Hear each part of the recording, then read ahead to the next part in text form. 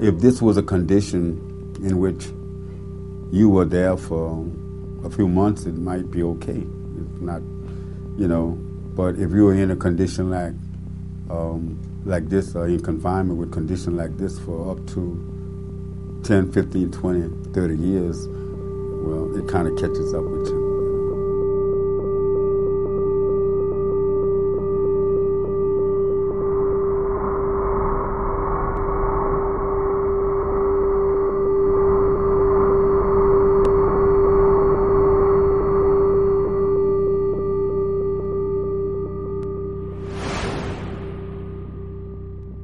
When I was in prison, you asked me what kept me going. I, I would probably tell you the fact that I was innocent and I needed to get out of prison. Uh, and my main focus was to stay as sane as I could in order to accomplish this.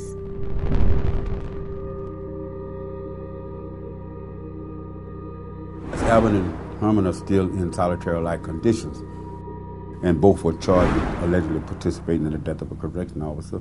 But again, since that time, all evidence showed that they were targeted simply because they were members of the Black Panther Party and that there's really no evidence, you know, no forensic or otherwise physical evidence linking them to the crime.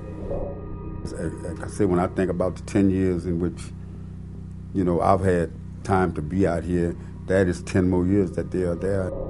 When they went to prison, the prison was considered the worst in the nation, and they got people together. They brought in ideology that despite the fact that you were a prisoner, you was you still had some rights, and because of this, the administration saw them as being threats.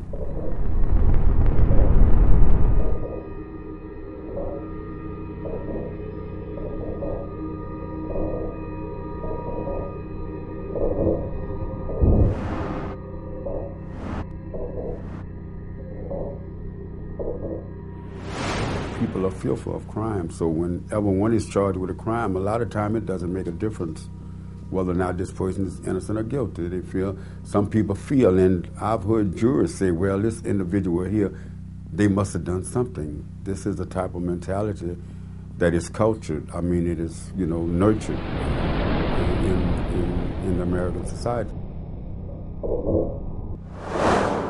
I think while we focus on the condition of confinement, I think the bigger focus is on prison. I think we have to begin to see prison as being a tantamount or equal to slavery.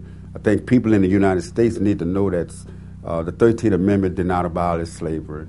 Instead, the 13th Amendment, you know, if you read the word and it says slavery nor involuntary servitude shall exist on these shores except one who has been duly convicted of a crime. How many people who have been duly convicted of crime but who are actually innocent? Because as long as we have prison, slavery reigns.